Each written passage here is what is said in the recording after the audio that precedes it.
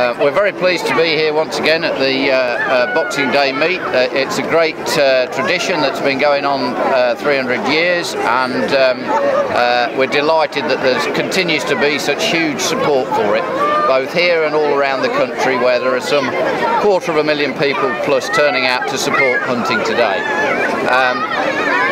hunting con continues to thrive and it's uh, well supported, particularly by the younger generation. Um, but uh, it, it, we do find it uh, rather difficult and confusing to uh, operate within the confines of the Hunting Act, which uh, we very much hope will uh, be repealed at the earliest opportunity. This is, of course, next year is, of course, an election year, um, and politics is looking very unpredictable um, but uh, we hope to secure uh, a majority of MPs who are in favour of repeal uh, so that the confusion um, can be um, released and uh, court and police time uh, will no longer need to be uh, wasted um,